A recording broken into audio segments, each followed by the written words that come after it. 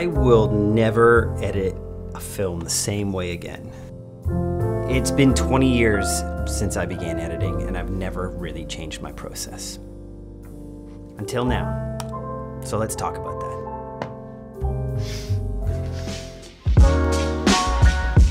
In this video, we're gonna talk about text-based editing, and we're gonna go over Adobe Premiere, DaVinci Resolve, and another piece of software called Trint, talk about the advantages and disadvantages of each one of those, and then also talk about why myself and so many editors are so excited about text-based editing and how it's revolutionizing the way we are approaching our films, videos, or anything that you're cutting with dialogue. Now, originally this video was actually a sponsored video, but the technology is changing so much and it's moving so rapid, I didn't feel comfortable actually just talking about one piece of software. So I wanted to do an agnostic video where no one's paying me anything and I can talk freely about where the technology is and the advantages of each one. It's like people only do things because they get paid.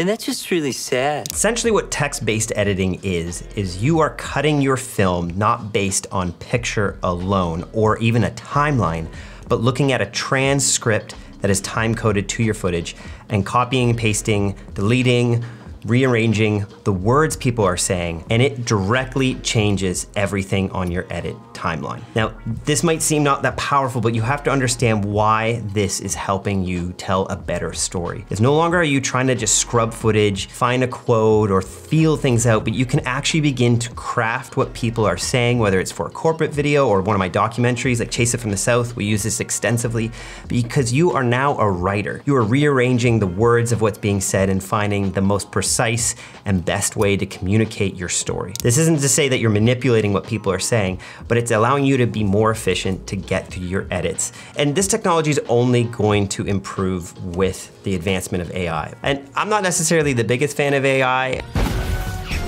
I think it still has a long way to go, especially when it comes to creation of video. Did someone say pizza? No way. Are you craving something cheesy and new?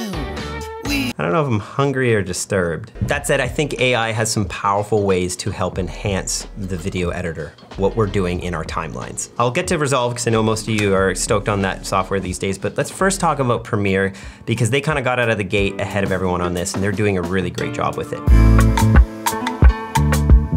So if you want to use text-based editing in Premiere, you can actually set it up so that every piece of footage that comes into your project is automatically transcribed. And this happens very quickly. And what's really cool is Premiere allows you to translate up to 16 different languages with decent accuracy, including Spanish, which my editor, he's actually fluent in Spanish. Isn't that right, Santi? Sí, la verdad es que si no hablas español podrás encontrar todos los subtítulos de acá generados por AI. ¿Cierto, Mark? C. One of the best parts of Premiere's text-based editing is that you can actually identify where all the pauses are in the video. And you can just quickly highlight those and ripple delete them and get rid of all of the breaks that are in your video so that you don't manually have to go through and look at the waveform and find and blade blade and delete where the actual pauses were. And as many of my editors know, I often pause because I get a bit distracted. Sick. So as I was saying, what's great with Premiere is you can highlight the sections you like, delete them, and move them around as you need to tell your story. You don't understand how much this speeds up editing. No longer do you have to hit play and listen back to what's being said. You can quickly read and understand if you even want that sentence. Now, you might not always want to do this if you're doing a documentary. Sometimes there's a line that you want to be careful not to cross where you're actually manipulating the intention of what people are saying. But if you're doing a YouTube video like I'm doing or some quick TikTok reel, you need to get the information out there in the most efficient and coherent way possible. Another great thing that Premiere does is it does automatic captions on your footage that'll generate these captions. And for us, that's really important because with our Art of Documentary course, we're gonna have about 270 videos in the course this fall, and we need captions on all of those in a variety of languages. So I think we're gonna start using that for Premiere. In the past, we've had to use other softwares online and it costs thousands of dollars. Another great thing is you can search for specific words. Sometimes if someone mispronounces something, but they say it correctly at another time, you can actually search for that word. Or maybe there is a key point in your story that you needed to find out. This is speeding up so much of your workflow. Get into text-based editing. Let's just quickly talk about Resolve. They've just added text-based editing into their 18.5 beta. Now, it's only in English right now, and it's very early in their inception. The rumors I have heard, though, is that Resolve is gonna be putting a ton of AI into their software to the point that you can search for certain people's faces and then as an editor, when you need to find a shot of that person, you can just type in their name or you can type in things like mountains or roads and it will inherently recognize that. I don't know this for sure. This is just what I've been told by some other editors. We've used Resolve a bit for this text-based editing. It's good. It's a bit behind Premiere from what we've found. And similar to Premiere, you can highlight text in order to begin editing. You don't have to be in the timeline Resolve. You can edit directly based off the text document inside the software. One really cool thing with Resolve is with one click, you can create subtitles for your entire timeline. It can be over an hour and you can just automatically have subtitles across the board there really powerful tool. And since we're talking about editing, I wanna quickly mention my new editing setup. I'm really excited about this. It's the Mac Studio from Apple. It's the M2 Max. And this is so fast when it comes to rendering. There's just, there's no delay time. Like when I'm in Premiere Resolve, it's just working seamlessly. I'm loving it and I can't wait to get in bigger projects because the footage we're using is just getting bigger and bigger. Anyways, you can ask me any questions below about this. Uh, maybe I'll do a dedicated video for it as well.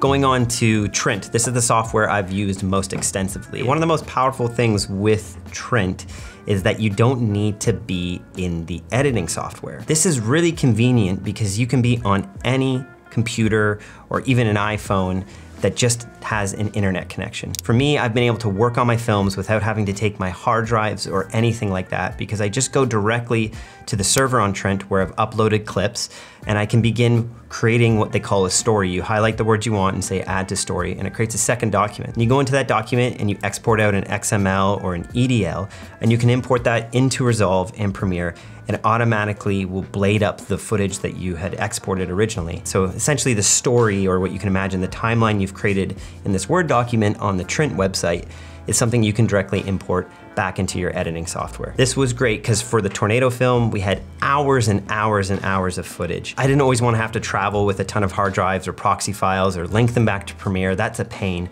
but I could just open up a web browser and continue to keep reading through what was being said in this film and highlighting different moments. And then I would just send that to our editor, Lewis. We got to work and collaborate together and I never had to be in the edit suite. We actually never were in the same room to make that film. Another powerful thing with Trint is that it has over 40 languages. They have the most extensive language base, and you can actually use it to translate back into another language. Trint has a bunch of other tools, like they have uh, an app now that you can actually transcribe on the fly when you're in an interview, so when the interview's done, you already have everything transcribed. Sometimes when you're just starting off with filmmaking, it's quite intimidating to be in the edit timeline and to understand the software, but anyone can read a document, unless you're illiterate. I guess, you know, you can't read if so if you're literate, it's great, which you hopefully are. And if you aren't, there'll be a course for that. The Derek Zoolander Center for Kids Who Can't Read Good. But if you can read the document, then you can build the story. I would still say as a general rule, as a storyteller, it's better to show things than always have them told. You don't want all your videos just being a video essay or feeling like a Wikipedia page that's being spoken out you get a chance to show B-roll. But text-based editing is saving us a ton of time. So get into that, mess around with it. There's beta software, like I mentioned, for Resolve, or Premiere has included this already in. Also, if you're interested in checking out Trint, I have an affiliate code down below. You can try out a trial of that. Check the code and link down there into the description. As I mentioned before, I'm not always a big fan of AI. Just because it can create things very quickly doesn't necessarily mean it's enhancing the creative process or creating things that are better than us as artists can do. Eat pepperoni hug spot pizza. Your tummy say thank you. But when it can serve us and help us to impart our directorial eye and vision into a project quicker and more efficiently, then I'm a big fan of it. And text-based editing is doing that for video editing right now. Well, thanks for watching this video. See you in the next one. Odio las despedidas. Sí. For every salmon that gets caught, hundreds make it past the bears. Sick.